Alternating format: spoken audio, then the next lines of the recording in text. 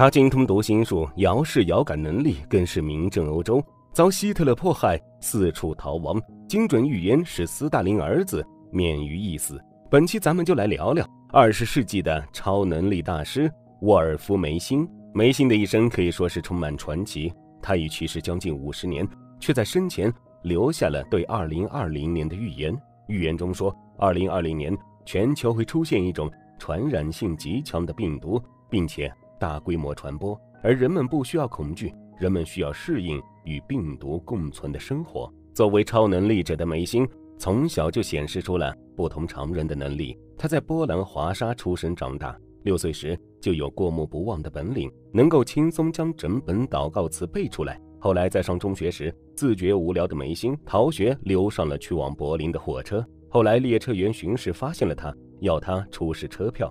梅心很自然地从兜里掏出一张废纸，递给了列车员。列车员没有发现异样，把票还给他后离开了。蒙混过关的梅心就这样来到了柏林。十几岁的少年靠着变戏法的天赋生活，但也是过了今天没明天。一天在街头，梅心遇到了一个神经科专家。专家好奇少年的过人本领，带回了实验室。经过一番测试，梅心这才知道自己有异于常人的超能力。因为可以轻松猜透别人的心思，梅心登上了一个叫《心灵感应》的节目，并且大放异彩，一次次精准的猜测让观众惊讶不已。梅心就此名声大噪。一九一六年的一天，十七岁的梅心出现在两位学术大拿爱因斯坦和弗洛伊德面前。三人一言不发。随后，弗洛伊德用意念向梅心发出了一条指令，意思是说，请他从右边洗澡间的小抽屉里把一枚铜制小镊子拿出来。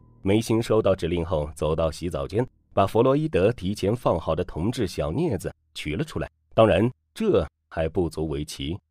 心里想要做什么，别人能瞬间猜到，并且毫无差错的立刻执行。这项罕见的超能力就出现在梅心身上。为了证实这一点，大学问家弗洛伊德给梅心用意念发来了第二条指令。只见梅心动作迅速地走到爱因斯坦面前，说了一声对不起，然后用手中镊子从爱因斯坦的胡子里拔了三根胡须。梅心惊人的读心术让弗洛伊德和爱因斯坦赞叹不已。梅心在离开前还不忘告诉爱因斯坦，说他会在一九二一年获得一项大奖。淡泊名利的爱因斯坦并没有在意，只是吐了吐舌头。五年后，爱因斯坦获得了诺贝尔奖。而在拜别两人后，梅心开始在世界各地巡游。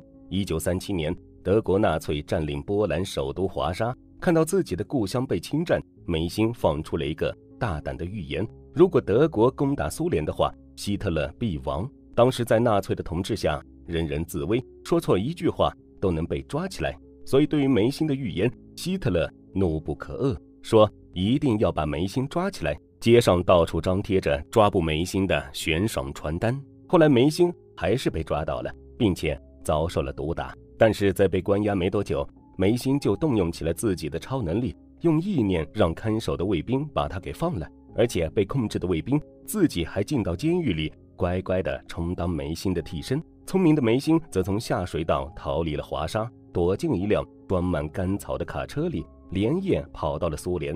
因为预言希特勒必亡。梅辛在苏联也很有名气，因为众口相传，时间一长，斯大林也想见见这位神人，测一测他到底有没有特异功能。斯大林找来梅辛，让他没有任何凭证从银行取出一笔钱，然后梅辛就真去了。只见他走进了莫斯科一家大银行，在一个营业窗口处，泰然自若地办起了取钱业务。因为梅辛的意念控制，仅凭一张白纸，梅辛就取出了十万卢布。放入公文包，走出了银行大楼，把钱交给了全程监视他的秘密警察。知道这件事的人都非常佩服梅心的超能力，但斯大林还觉得不够。银行职员毕竟只是一般人，精神意志相对来说比较薄弱。斯大林想测测梅心的控制能力能有多强。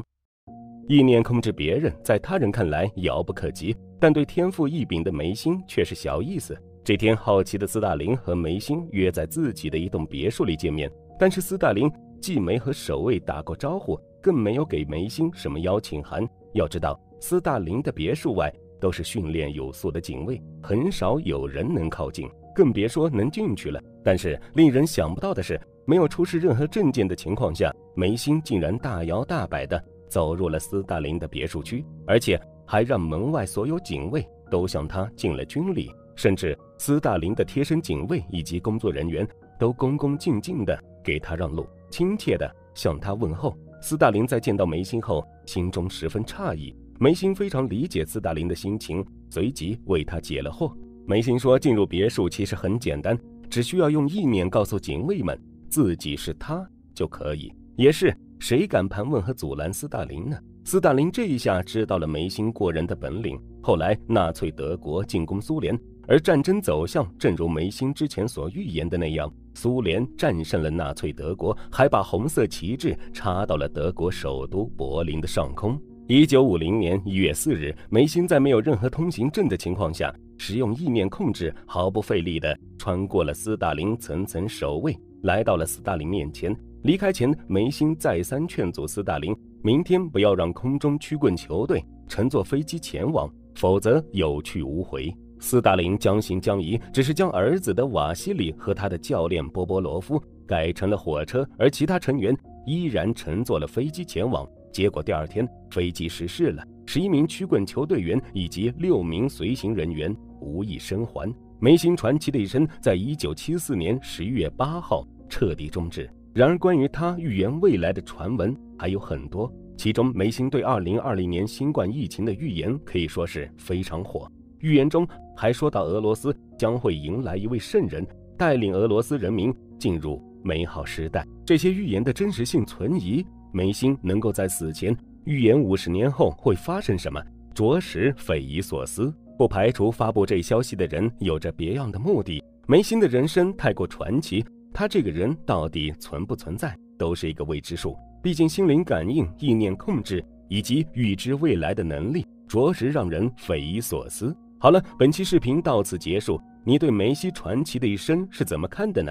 你想拥有梅西的哪项本领呢？欢迎评论区。留言互动，最后不要忘了点赞、收藏、加关注，大家的支持就是更新的动力。咱们下期见。